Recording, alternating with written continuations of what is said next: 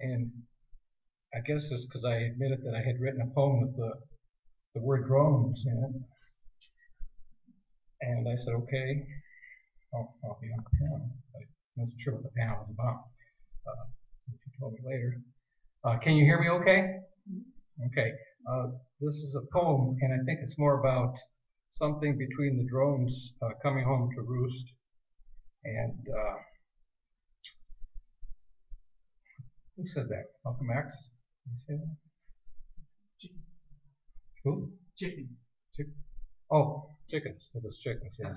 uh, well, I had a friend who wrote a book and used that title. His name's uh, Ward Churchill, but we don't talk anymore. You know who he is. uh, this is a, a, poem that I wrote after uh, Sandy Hook. You know, it's kind of angry, so you'll have to take that into consideration. I hope you do anyway. What dogma, Mr. President? What demand, what, excuse me, let me start again. What dogmata are you talking about, Mr. President, of this nation of guns are us? The well-regulated militia gone awry like some stray bullet from a drug deal gone bad? Or that midnight spawn of sweet revenge a la gangster style? Remember the Amish children in school lined up like a Chicago Valentine Day massacre? The milkman left no milk. Think schools not long ago where the lead sang Alma murder. Goodbye, Columbine. Farewell, Virginia Tech. Adios, NIU. Tell me of the slaughter of children since our entry into World War II on December 9, 1941. When war became our mantra, our perpetual motion machine, the modus operandi and quest for ultimate grail of empire. By the way, what is our national anthem? Another one bites the dust. It's the end of the world as we know it. Gabby knows the Tucson supermarkets aren't safe. Is that Charles Whitman from the University of Texas, Tom? Charlie Manson lives, Squeaky. Forget Charlie Company of 1st Battalion, 20th Infantry Regiment, 11th Brigade of the Americal Division, and My Lai, March 16, 1968. In God and drones we trust, no matter who dies. Isn't that so, Commander in Chief? I heard America's motto kill them all and let God sort them. White phosphorus, napalm, uranium rounds, poor puppies of Fallujah. Robotic soldiers will prevail no matter how many tours the PTSD. But don't expect the VA to disassemble. And over medication is too expensive. Though our drug lords will differ with smiles. You can spare me tears, Mr. President, until we are a nation of laws, if it ever happens again. Amen. Thank you.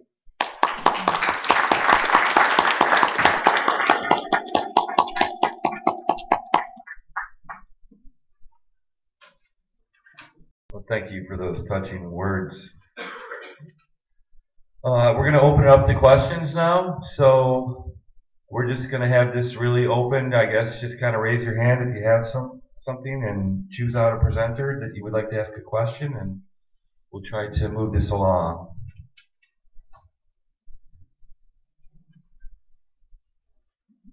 I have a quick statement and then a couple of short questions. Um, John, you're not alone. Uh, you're not the only combat veteran in right now. Um, He touched on something that I don't think anybody else has touched on, that I think is a very real aspect of the drone. Um, and in thinking about this for the past few days, the same thought reoccurs every time. And I'm always brought back to my history lessons of firebombing in Dresden. Hmm. Tens of thousands of civilians killed during those bombs. Collateral damage. Through the use of technology, we've been able to tear that down to the ones of thousands. Not over months, but over years. And I think that's a very real fact that we need to consider. Lateral damage is, uh, considered a four-letter word. Hell, a lot of people in this room. Uh, for John and I, it's a, uh, it's a sad fact of life. And whatever we can do through technology or whatever to keep that number as low as possible is in our mind a good thing. Um, and to my quick questions, I, um, would like to ask, alternative? And is a, a matter of international law, how can we, uh, subject the United States to the purview of international law while maintaining our own sovereignty? I think that's a real question.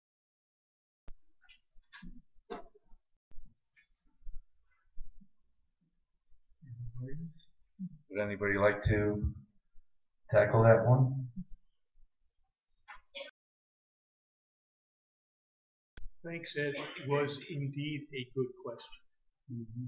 And the question of international sovereignty and how we can maintain our own uh, while we are under, inter, in- you know, if you have an international court, it does not necessarily mean that the international troopers are permitted onto your soil to go grab your leaders and haul them off to the pokey. What it means is that the scrutiny, the opportunity to have the world view that which has happened becomes something that is made available to the rest of the world. The problem that we have with drones or other warfare things is that we keep on developing newer and better technologies. They are great for saving soldiers. They are actually great for reducing the number of deaths that are happening if we are going to have to fight at all. But the questions of international law and of uh, just war law are is this the least amount we can do to get the job done while inflicting the least amount of damage because every bit of damage that we do to the rest of the world leads the Osamas and those who would follow Osama to further destroy or want to destroy the people who live here and our way of life.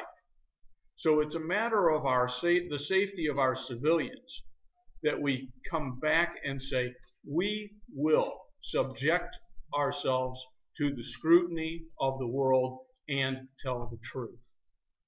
That's my answer. If I could jump in with respect to. Would you like to rebut that? Make a Uh, statement. Not about rebuttal, but I I actually just want to provide more information in regards to the question in regards to U.S. sovereignty vis-a-vis international law, specifically in regards to the International Criminal Court. International Criminal Court. Um, there are actually a whole array of ways that uh, U.S. leaders, uh, political or military, are uh, shielded from the International Criminal Court. Uh, and uh, I'll tell you the ways that case.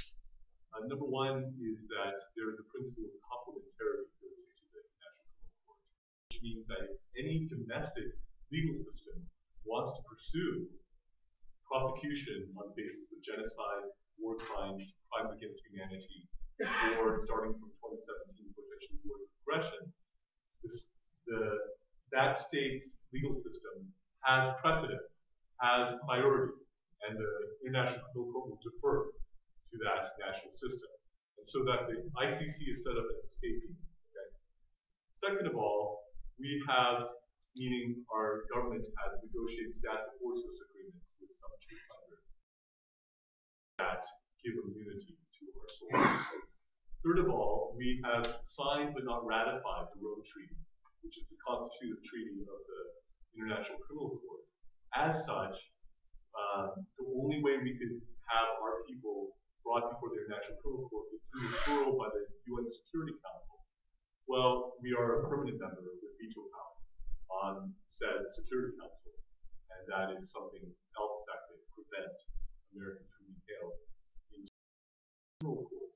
If we ever decided to sign, uh, I'm sorry, to ratify the Rome Statute, then it would only be future violations along these lines that could be subject, not prior violation. And so, in reality, we have not had a single American defendant in the International Criminal Court uh, in its entire existence since uh, it was active and in force on July 17, 2002. Uh, and so, while I understand the concerns that are there, I think there are multiple reasons why it's uh, much of a much of concern, frankly, in terms of reality and in actuality. If we were to ratify the Rome Statute, um, that would uh, potentially open things up more. Uh, whether you see that as a good thing or bad thing. Uh, but I just want to give an answer in regards to that, just in regards to that question. I ask that you keep your questions as brief as possible. We're on a limited time here. Uh, Rey, do you think we can go to nine oh five, an extra five minutes? It looks like you gave the go, go ahead. Uh, next, Um, two questions for speakers, probably two and five. Under the auspices, au- auspices of which war are we in Pakistan? And can you speak to the transparency argument? We can't be transparent on how we're using them because it's all secret. And if we tell you what's going on, then we're gonna possibly risk. And and that's that damage.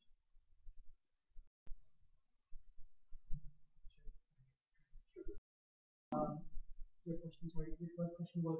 Under which, yeah, under the auspices of which wars or war are we in Pakistan, Hmm. Somalia, Yemen, Somalia, Iraq? Um, well, the, I think the official US government line is the authorization to force two thousand one.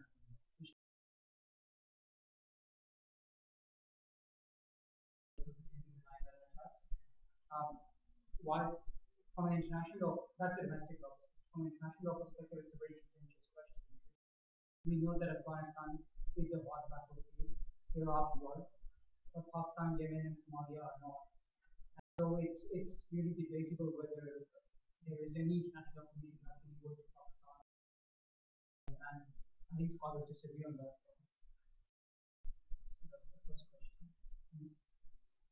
Second, second, uh, question was the argument of we can't be transparent about our targeting or strategy because we intelligence. We could bigger damage and preventing that to completely. Yeah, I I guess I don't, I wouldn't know how to answer that question because that's always, that's always one answer to these kind of questions. I, I, I wouldn't know. Even if you're talking about security council involvement, uh, government would say they don't want our to be going out to those five um, that are part of that.